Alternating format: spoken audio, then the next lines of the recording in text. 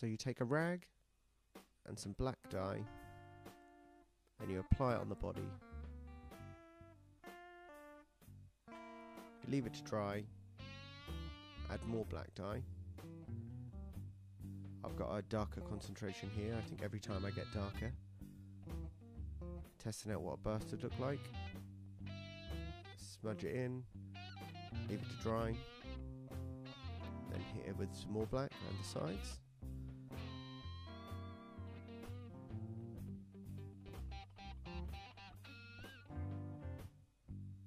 Really picking on the spots there that aren't taking the dye very well.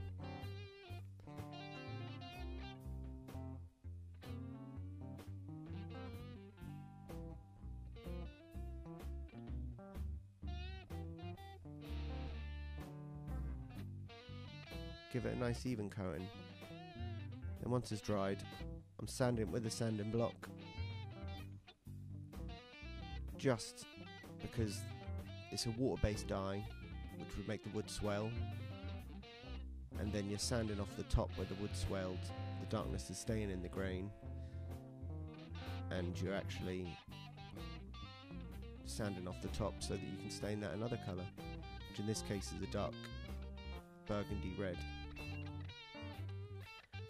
So once that's dried, add another layer of stain here around the edge. Clear up any little defects in the glue, which will happen with the veneer.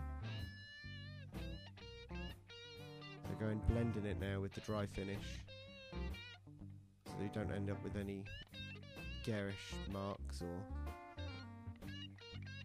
just as nicely blended in. Once that dried, hit it with the dark burgundy. And this has gone in. It's actually quite shiny. You can see how shiny. From the bottom, you can see the outline of the body, contour. But as I'm sanding it in, just trying to lighten it up and give it the sort of overall colour I want. Once that's dried, go over it with some oil. And that's that's what our final product will look like. After drying, I hit it with more oil. Think this oiling procedure I went on for maybe six, seven coats of oil uh, before I finally uh, rested on the final coat of oil. She's leaving it to dry, hitting with another layer of oil. In between oil, I'm rubbing this down with some steel wool to buff the oil and then another healthy coat of oil. Rub that in, leave it, and we're done.